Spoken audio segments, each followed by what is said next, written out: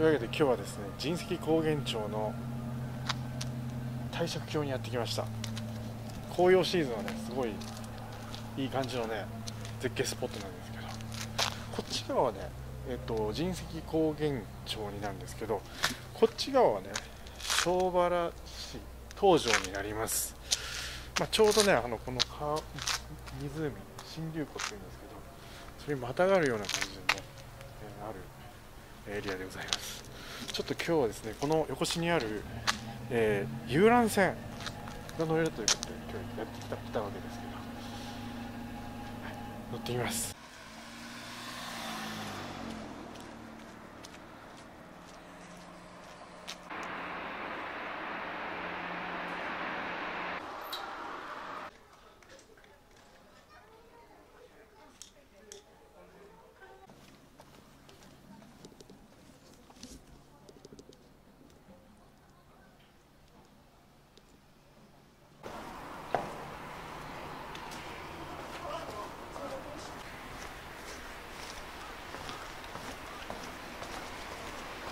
失礼します。はい。これ窓開けれないですよね。いえいえ、開けてもらってあいいですか。よありがとうございます。結構広々とした感じです。本日は岩本大崎町をお訪ねくださいまして遊覧船をご利用いただき誠にありがとうございます。ここ大崎町は古くから日本五大名島の一つとして広く知られ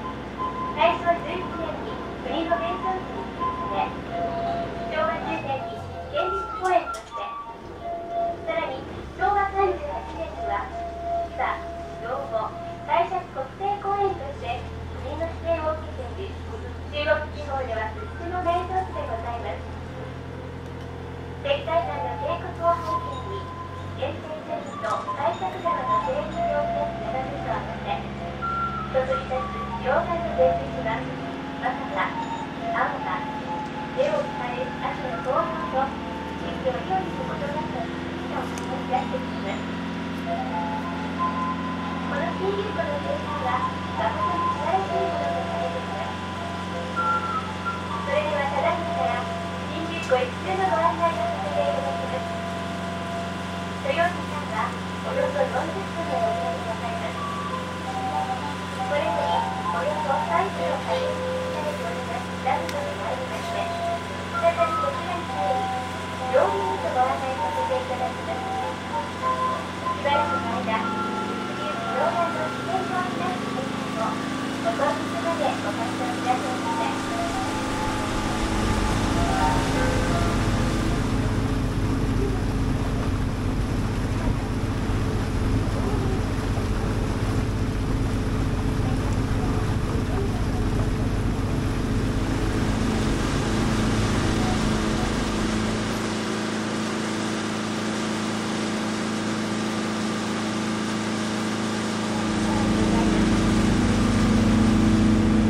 大崎町という名前は大崎町永明寺のご本尊大崎家に由来すると言われております何年かに聞くまでこの辺りは人里の最後からこれを生まれなくてございます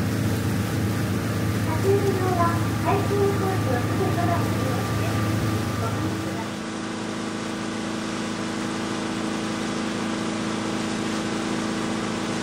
左側をご覧ください秋の紅葉の頃となりますとこの辺りは五色の色に染まったところから五雲峡と呼ばれています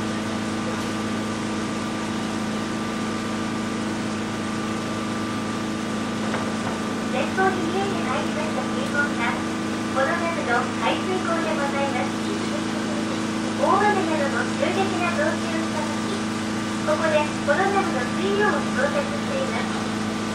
ここに見えてまいりましたのが約62メートルの高さの円堤でございますご覧のようにこの湖は天然の渓谷を巧みに利用して作られていますダムの流域面積は120平方キロ満水時の総貯水量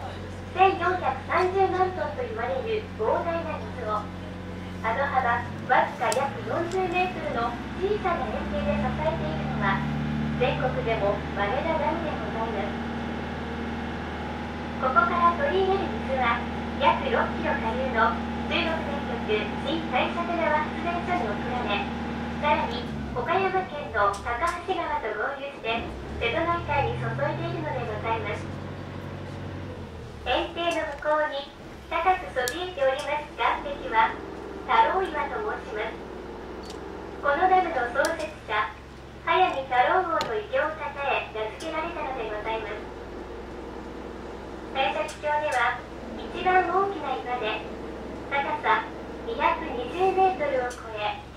壮大武器の絶壁はまさに大崎峡随一の景観でございます。戦前この地を訪れた作家日野足平氏は太郎岩を見ずして大崎峡の絶景を語るなかれと歌っているのでございます。また遠征から下流を下大崎峡と申しましてまだ開発されていませんが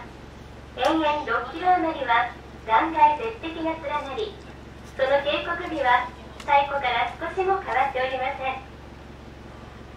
それではダムの案内が終わりましたので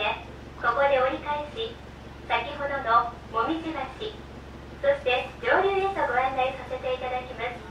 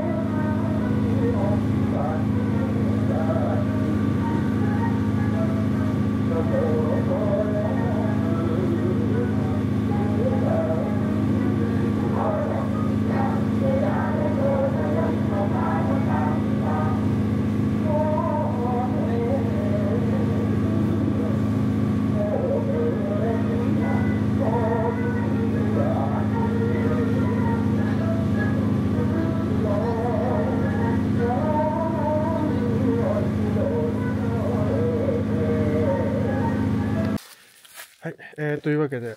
遊覧船、だいたい40分程度の、えー旅でした。まあ、水の上からね、この、まあ、橋を見たりね、紅葉を見たりするのもすごいいいかなと思います。もちろんね、この遊歩道もね、ありますので、ちょっと、こういう対策も加えられてますけど、遊歩道からでも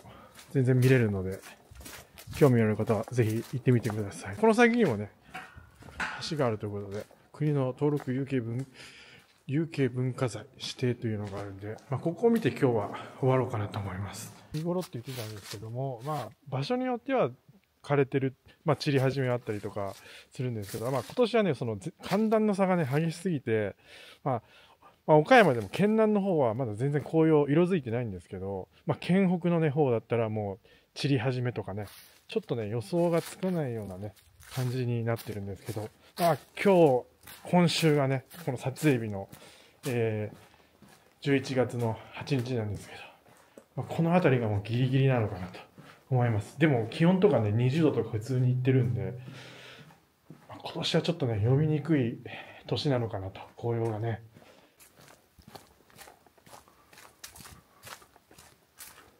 うんこういう感じになっています。すごい見見応えのね、ある感じの橋になってます。こんなね、橋になってます。一度ね、あの、紹介したことあるんで、まあ、詳しくはね、あの、説明しないですけど、非常にあの、見応えのある、えー橋で、で、この橋のね、作り方も、その、建築のなんか、そういうので、結構有名な橋だということで、なんか登録されてるみたいですね。で、向こう側にもね、橋が2つくらいああったと思うんですけど、あのー老朽化のためにあの渡れないというね、橋になってます。まあ、近くまでね、近づくことはできるんですけど、